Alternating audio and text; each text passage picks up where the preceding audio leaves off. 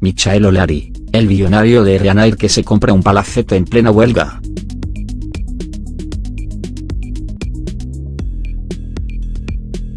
...27 de julio de 2018 5.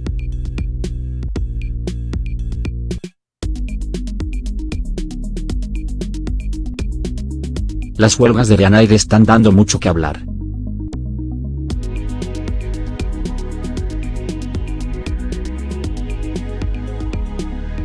Según publicaba este jueves el Daily Mail, la compañía se niega a pagar los 200 euros de compensación a unos 100.000 pasajeros que han visto sus vuelos retrasados o directamente se han quedado sin poder volar.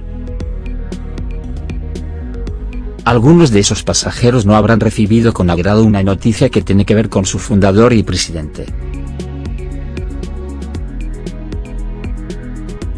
Michael O'Leary se ha comprado un palacete de 2.837 metros cuadrados en el centro de Palma de Mallorca.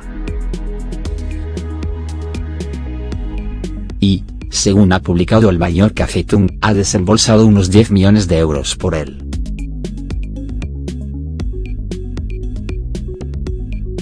Próximo a una iglesia, el palacete cuenta con tres patios, un jardín con palmeras y varios salones. Con revestimientos de madera y frescos barrocos en el techo, data del siglo XIV, aunque su aspecto actual es de 1741.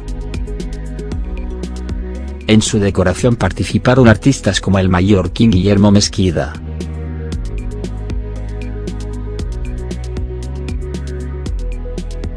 Michael O'Leary con el pasajero 30 millones de Ryanair.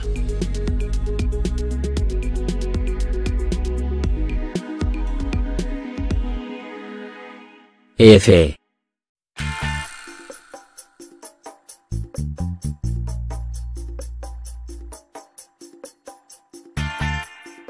Los anteriores dueños del lugar exigían por él unos 18 millones de euros, pero el dueño de Ryanair solo ha pagado entre 10 y 14 millones de euros por él comprándolo a través de una sociedad interpuesta a finales de marzo.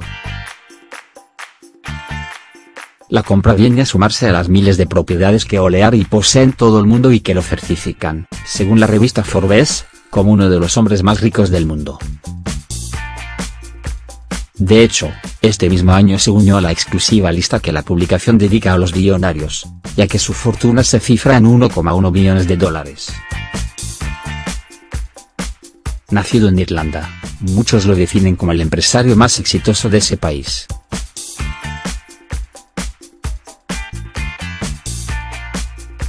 También como alguien campechano, que no tiene secretaria y que considera las vacaciones, o eso dice él, una pérdida de tiempo. Casado desde 2003 con Anita Farrell, ex banquera de Citibank, ha tenido con ella cuatro hijos. Oleari junto a su esposa, Anita Farrell.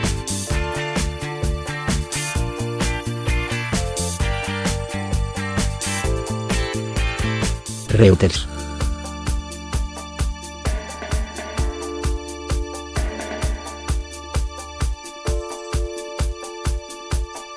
La familia vive en una granja de casi mil hectáreas situada en Higginstone.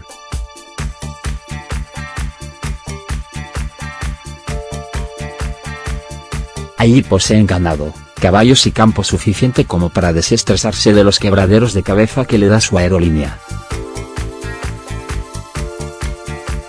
Además, posee una mansión victoriana de siete habitaciones en Dublín.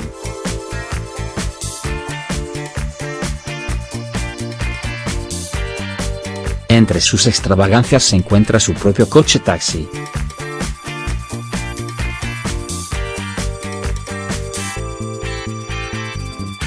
También el haber publicitado Ryanair a través de personajes populares cada vez que estos cogen uno de sus vuelos.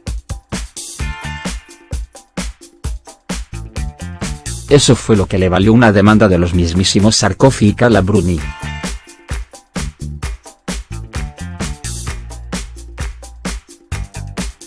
Siempre polémico, Oleari se enfrenta a un momento clave para su compañía, el de una huelga que ha amargado las vacaciones de muchos pasajeros que, irónicamente, ni siquiera conocen su nombre.